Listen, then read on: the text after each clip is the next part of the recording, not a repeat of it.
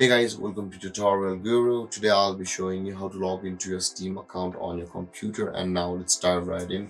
Now to log into your Steam account on your computer, first open up your Steam software or your Steam website, any of these will work.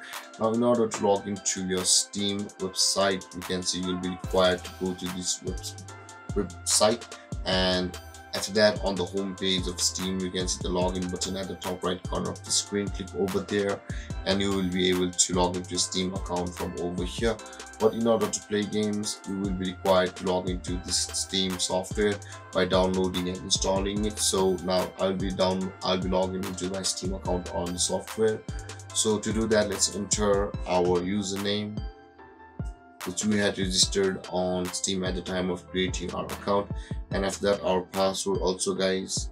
But if you can if you've forgotten your password guys you can always retrieve it from over here where it says help i can't sign in. You can go there and uh, submit your problem and they will get you back with your contact details. And with that being said guys after entering your email address uh, sorry my bad. After entering your username of your steam account and your password simply click on sign in and then uh, you will be logged into okay uh, let's enter our password again.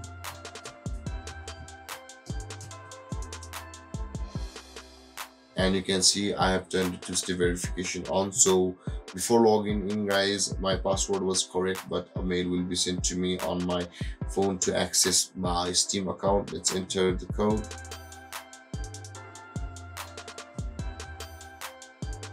And it's getting the data and let's wait for it guys. It's waiting for the network. I guess it's a little bit slow because it's got heavy to load. And over here guys we have successfully signed into our steam account on our computer.